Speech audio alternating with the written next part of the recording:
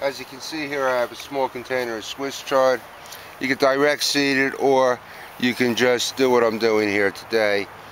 They grow in it in a uh, pot and just take a spoon. Oh, that was not too strong. Take a whole claw. I'm going to thin them all to one so I don't care if I lose any. Just go into the ground. Boom. Like that. There you go. And it's done. It's not that complicated. Now you only want one within about 18 inches of the other one. So you, uh, bring the camera down here, Kurt. You can see I have a bunch there. I'm just going to have to thin them out to one. Simple as that. Cool. So that was a little chard transplant. We're going to give you a little garden update today. It's a little after 9. It's still like 33 degrees. So it's still pretty cool out. Um, cold. but right here we have our garlics. Hello, Philadelphia. Coming up with some grass clippings here. Take a shot of Philadelphia the cat. Where's the cat at? Behind there, it's coming in. Now this is the this is the cat that takes care of all the moles. Moles, baby groundhog, well all groundhogs basically. We haven't seen any this year. And um, mice, anything else. LA calls them Philadelphia. Philadelphia. What's that cat called Philadelphia? Coyote got him. I don't know where he's at now. Okay, so what else we got going on? Can you explain this uh, little system you have over here for the pests? Oh. We have beaks and carrots on this in this line here. Show them the line. All the way up and down in between the garlic and just to make sure that the birds are not eating the seed and the seed is good we put little containers over them trays so we'll know if the birds are eating the seeds or not because they won't be able to get to the seeds underneath the tray pretty simplistic Cool. There's a cat right there. hey Philly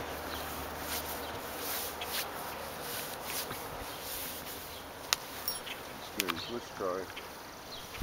All right, now we're gonna uncover some tomato plants. Yes, we are. But it's cold.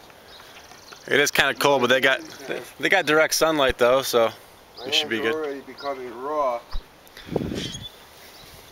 We haven't really gotten into the season yet. We're always about a month to six weeks behind the rest of the state here in, in McKean County as far as warmth goes. So I'm going to use gloves.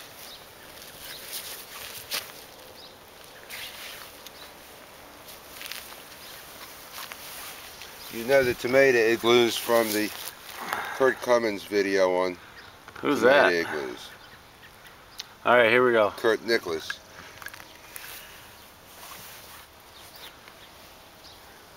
How many you got in here? Well, about these are the orange tomatoes that nobody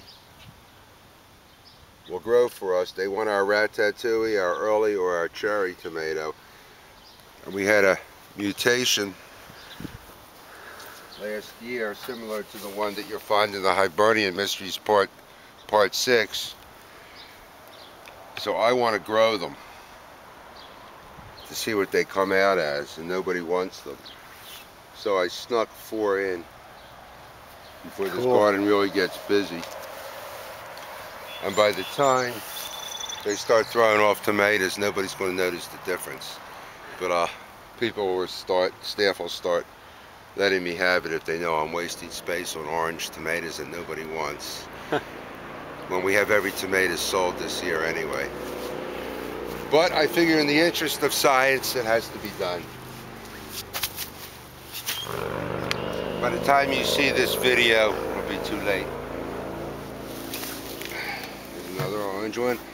There's a little bottle of horn silica I like to put next to some of them.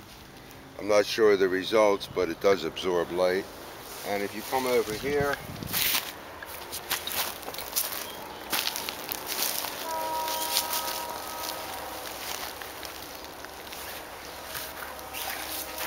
Uh, before I bury our horn with the horn silica in it, I'd like to leave it next to the tomato plant.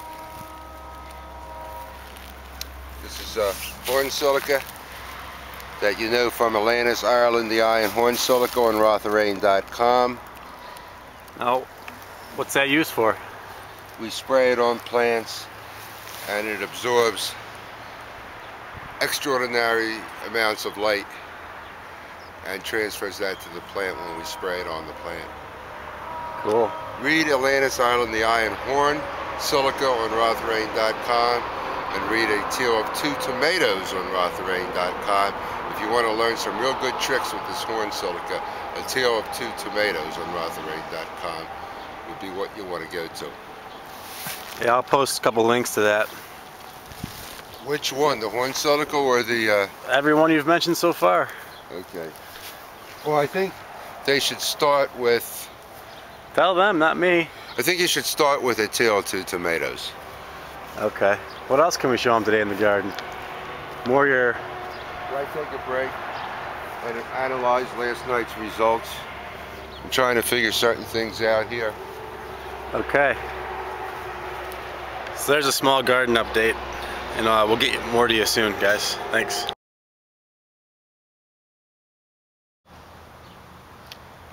We had an unusual occurrence here on Elm Street last night. We actually lost a couple Can't of the really- baby Swiss chard. Can you see that? Yeah, right there. Right Swiss, here? Yeah. Swiss chard does not normally freeze. It's cold resistant, but it must have gotten so cold last night. Show them the frost over here, Kurt. Yeah, it's still in the shadow right here, but you can see the frost. It got so cold it was probably strong enough to kill the baby Swiss chard. Now, how come you don't let those Swiss chard get any bigger before you transplant them into the ground? I usually do, but I want to get them out of the way early. I see. You want to explain the garlic thing? Uh, we thought that the milk that we watered them with this winter had hurt their roots and killed them, but we know that's not true now because here we have we've lost three garlic here that were not watered with milk. And come on over here, Kurt. This is very important. One, two, three all watered with milk are coming up. That one's just got broken off, but it's starting right in there. And of these three, come on over here. Keep the camera on the hill. One, two, three. These were not watered with milk, and we lost one here. So the three that were watered with milk did come up, and one of the ones that we didn't water with milk from the three did not come up. So we're going to do the experiment again this fall and this winter with the milk, aren't we, Kurt? Sure. Okay. Let's take a break. Ready for it? You want to show them the ones we are watering with milk? Yeah. All right, uh, camera. We're picking four elephant garlic to water with milk to see if we can see a difference. This one, This big one here. right? That one over there, And most of the milk is RSBT free. free, RSBT free, correct. Um, No hormones. Yeah, it's still pasteurized, but hormones. And we've chosen these two over here. Wow. These are being watered with the milk also. And that one is not. Look. So look at the difference in the leaves, but you can't go by the leaves. It's the head we're interested in, and the garlic. so you're not really going to be able to tell until you dig them up. Got that right. So that's a little garlic slash milk experiment, garlic nutrition We'll experiment. do a good experiment for you this fall and winter with the milk or the garlic. And the only reason why we're doing it is because A You got local fr- store throws away their bad milk and they'd rather give it to us to turn into food. yep. So it's a good way not to waste. Yes. But um, Go charge your yeah, we'll give you we'll give you more uh, updates on the on the garlic and milk nutrition soon. Thanks, guys.